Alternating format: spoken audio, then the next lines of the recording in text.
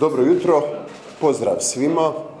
Pa evo počet ću s nečim što možda niste očekivali e, za početak ove tiskovne, što pretpostavljam da nitko drugi nije spominjao. Naime, reći ću par riječi o ovoj povijesnoj zgradi koja više neće biti ista.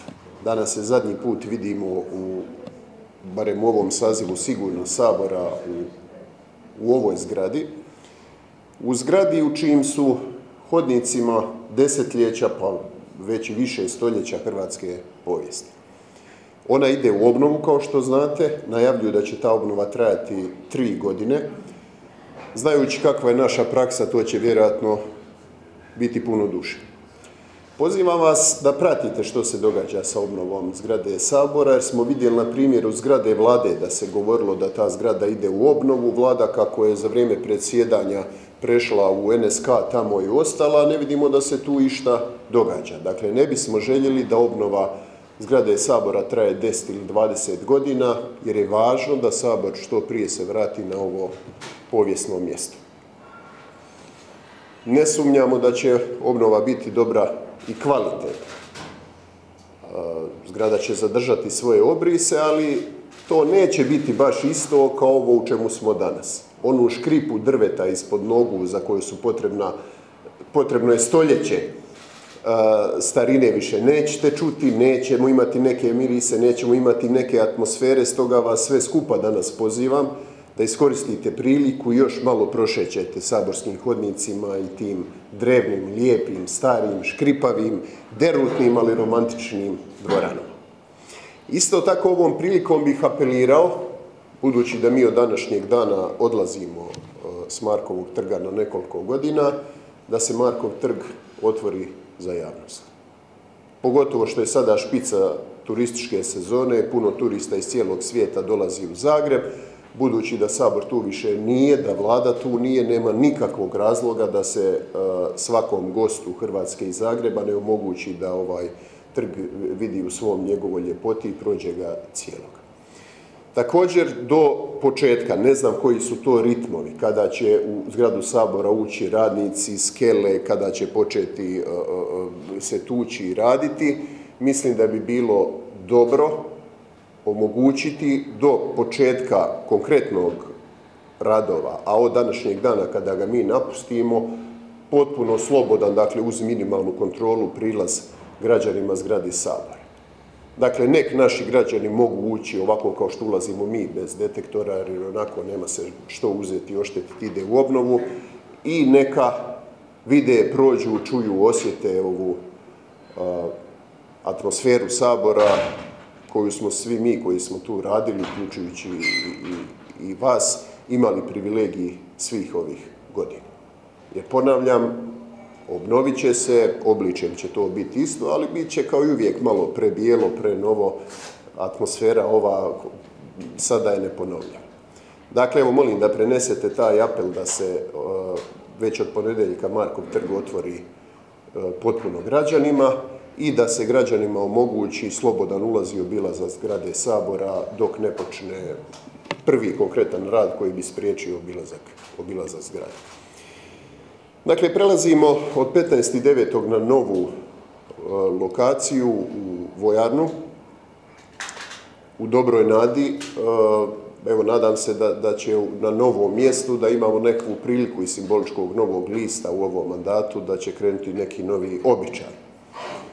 Prije svega se nadam da će da ćemo se prestati promatrati kao politički neprijatelji, a gledati se više kao politički protivnici i konkurenti, a konkretno u saborskom e, radu da će se početi usvajati neki prijedlozi oporbe koji su e, pozitivni, konstruktivni na opće dobro.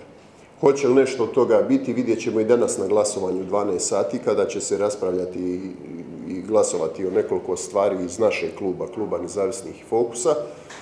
Prije svega mislim na rezoluciju o umjetnoj inteligenciji koju je Marija Selak-Raspodić s vrhom struke u Hrvatskoj, dakle od IT stručnjaka, e, pionira umjetne inteligencije u Hrvatskoj do profesora spravnog fakulteta e, napravila i stavila, e, gurla u proceduru prije godinu dana, međutim to je do nedavno bilo u Ladici i time smo izgubili priliku da na razini Europske zajednice budemo prvi.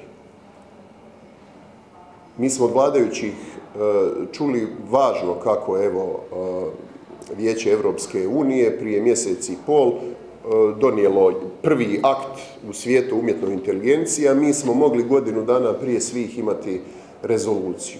Međutim, iz te neke rezerve prema bilo čemu što dolazi e, od oporbe, to se nije dogodilo. Nadam se, iako mi iskustvo e, potiče da očekujem suprotno, da će vladajući danas e, se predomisliti i izglasati tu rezoluciju umjetnoj inteligenciji, jer je jako važno da mi kao zakonodavac da pokažemo svijest i damo već neke smjernice u tretiranju te nove tehnologije koja ne da će promijeniti e, svijet, nego ga već mijenja. Od svijeta rada do e, pravnih odnosa, potencijalne ugroze ljudskih prava i, i, sloboda i tako dalje i tako dalje. Druga stvar na koju bih e, želio skrenuti vašu pozornost, a kojoj će se glasovati danas, je zakon o središnjem registru stanovništva. To je velika promjena. Ukida se popis stanovništva jednom u deset godina kakav smo imali do sada i uvodi se središnji registar u kojeg će se povući podaci iz svih do sada dostupnih baza.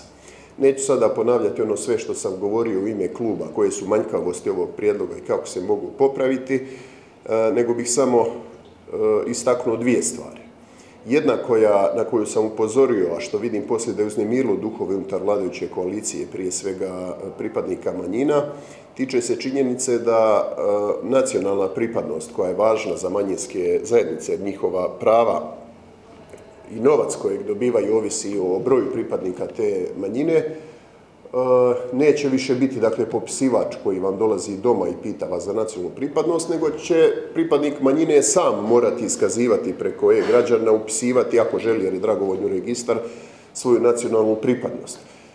Pa sam to napola ušalio, to je istina, rekao da od sada da bi se registrirali primjerice kao, Srbin, vi morate biti aktivni Srbin. Dakle, morate preko e-građana pristupiti registru i upisati da ste vi Srbin ili Italijan ili, Hrvat ili, ili što već. To je izazvalo bojazan kod dijela pripadnika predstavnika nacionalnih manjina da bi se broj ljudi koji se izjašnjavaju kao pripadnici nacionalnih manjina uslijed toga mogao smanjiti. Evo, to, to, je, to je jedna točka koju još treba razmotriti, a druga stvar oko registra stanovništva je zaključak kojeg sam predložio i o kojem će se danas glasati, koji se tiče naših građana koji imaju prebivalište izvan Republike Hrvatske.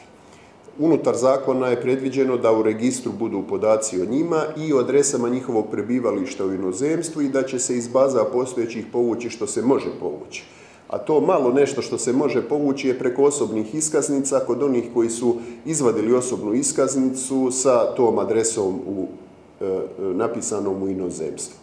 E sad, moj zaključak je vrlo jednostavan i mislim konstruktivan, jučer sam ga prezentirao i na e, odboru za Hrvate izvan Hrvatske, a to je da se samo omogući i hrvatskim državljanima s prebivalištem izvan Hrvatske da u registar dragovoljno e, e, mogu unijeti adresu svog prebivališta gdje su u inozemstvu. Zašto je to važno?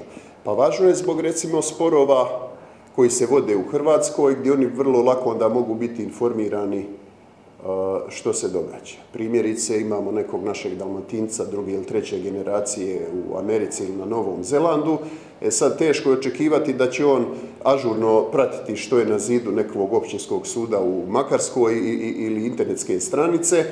Čovjek samo upiše u registar svoju adresu na Novom Zelandu i ako ima neki postupak koji se njega tiče, čovjeka se jednostavno obavijesti. Evo, samo sam to predložio. I živo me zanima hoće li on danas odbiti ovaj zaključak koji poboljšava zakon unutar intencije koji su i sami naveli jer omogućuju e, e, ovo što je do sada dostupno adresa e, naših ljudi koji prebivaju van da se unese, hoće li prihvatiti taj zaključak ili će ga odbiti samo zato što dolazi iz oporbenih redova ostajemo u dobroj vjeri i nadi. Evo, doista se nadam ta selitba Sabora da će biti prilika za jedan novi početak i neke nove i bolje običaje i što se tiče odnosa vladajućih prema konstruktivnim i dobronamjernim oporbenim prijedlozima. Evo tu bih e, završio to, ovo je osnovno što sam htio reći, na raspolaganju sam za sva pitanja oko ovih i drugih tema.